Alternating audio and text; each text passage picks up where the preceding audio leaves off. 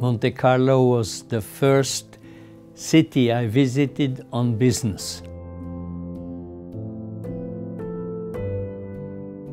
Because Monte Carlo was already taken and I picked Monaco because it sounds nice, it sounds noble, it sounds, let's say, expensive, but that's about it. I didn't think much further.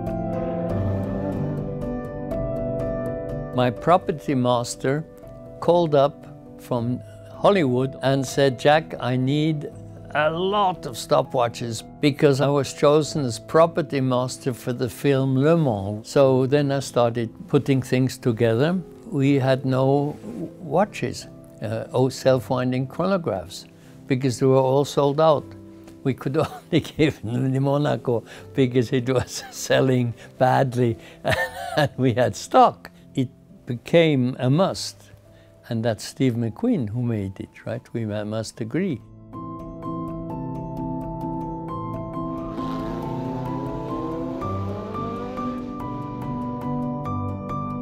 Actually, I'm very surprised. But I must say, I would have never thought, believed in my life that uh, 50 years later I would be, the Monaco would be such a key watch. This is a strong one. This I sort of like.